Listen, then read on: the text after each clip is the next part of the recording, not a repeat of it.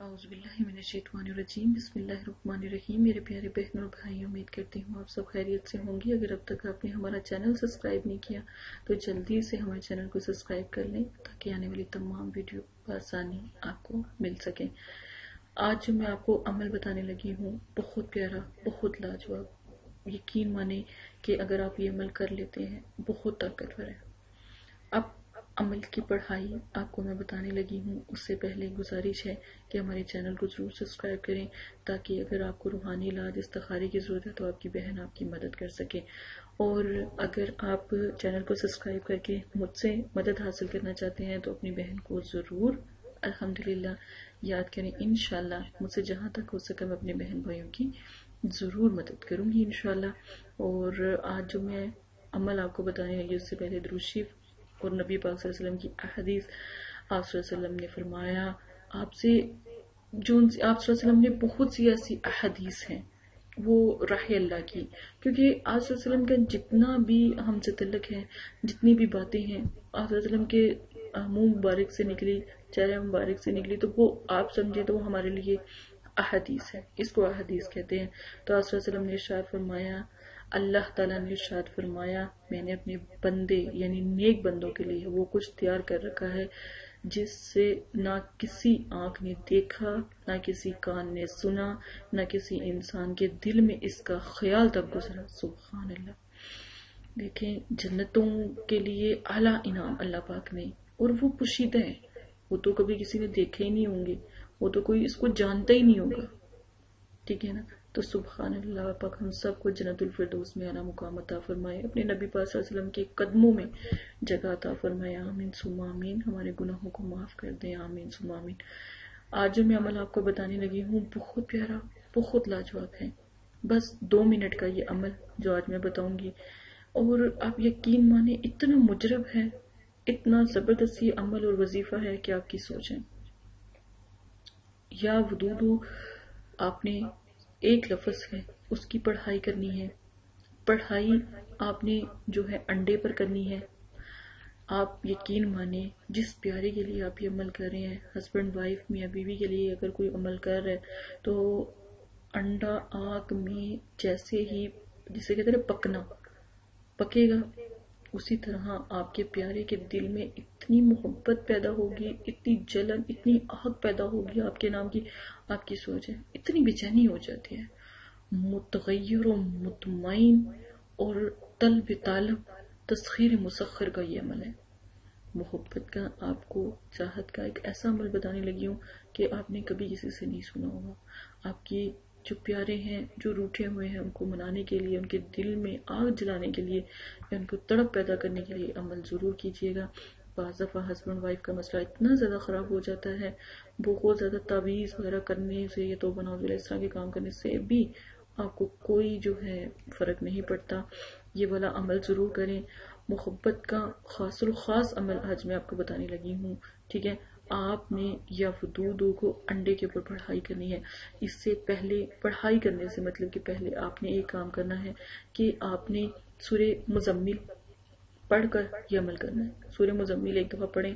چاہے نماز پہ بیٹھ کے بھی پڑھ سکتے ہیں، ویسے بھی عام بیٹھ کر پڑھ سکتے ہیں۔ انڈے کو ایک انڈا لینا ہے اور ہاتھ میں پکڑے رکھنا ہے، ٹھیک ہے؟ اور سورہ مزمل کی پڑھائی، ٹھیک ہے؟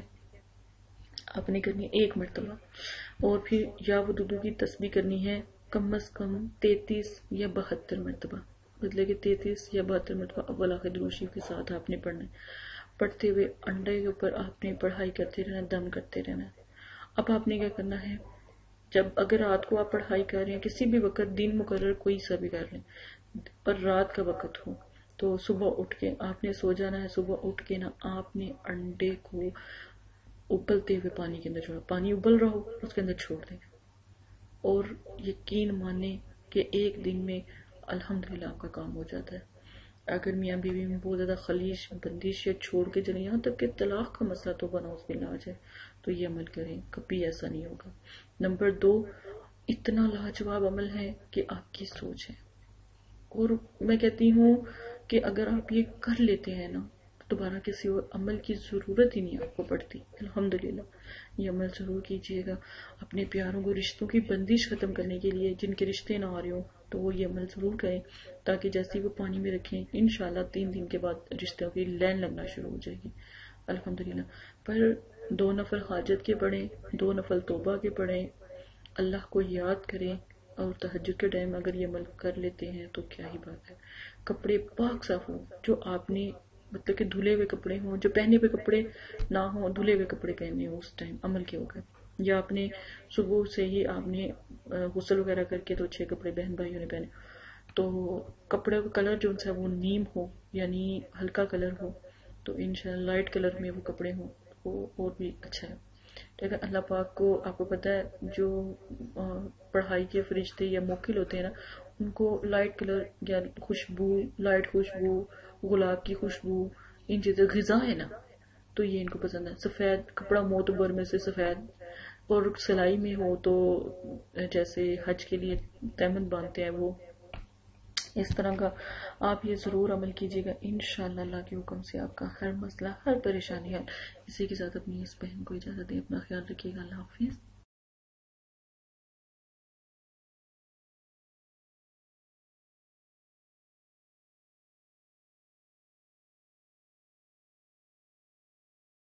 السلام علیکم پیارے بہن بھائیو، ایک چھوٹا سا پیغام آپ بہت سے وظائف سوشل میڈیا سے پکڑ کر کرتے ہیں۔ آپ کو نہیں پتا کہ وہ آپ کے لیے بہتر ہے یا نہیں ہے۔ آپ جب بھی وظائف کریں پہلے استخارہ کروائیں، اللہ کی رضا جانے۔ جب بھی آپ ہمارے پاس آئیں، تو یہ کہیں کہ استخارہ موکل کر دیں۔ وہ عمل کامیاب ہوگا، چاہے رشتوں کا ہے، پیار محبت کا ہے۔